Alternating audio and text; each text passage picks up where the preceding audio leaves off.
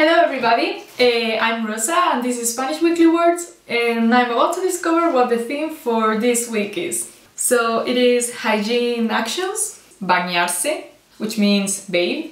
Después de un largo y duro día de trabajo, me gusta bañarme. After a hard and long day working, I like taking a bath.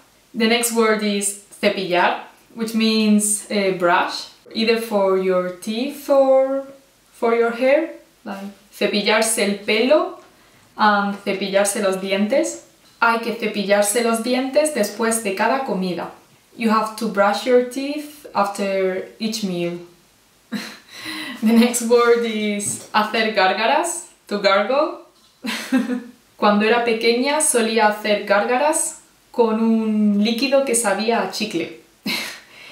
Uh, when I was a child, I used to gargle with a liquid that tasted like chewing gum. the next word is lavar, uh, which means wash. Yeah, you can use it for a lot of things.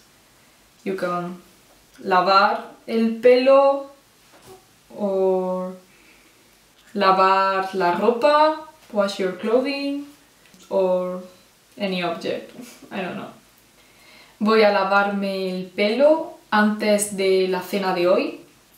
Uh, I'm going to wash my hair before uh, tonight's dinner. The next word is peine, uh, which is comb.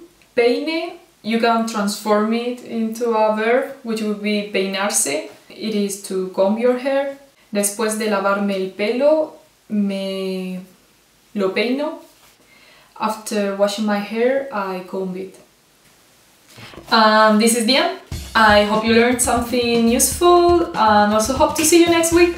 Bye!